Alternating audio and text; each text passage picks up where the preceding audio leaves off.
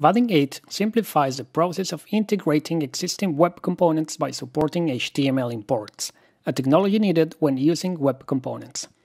You can focus on implementing Java components on the server side and performing any required DOM manipulations on the client side.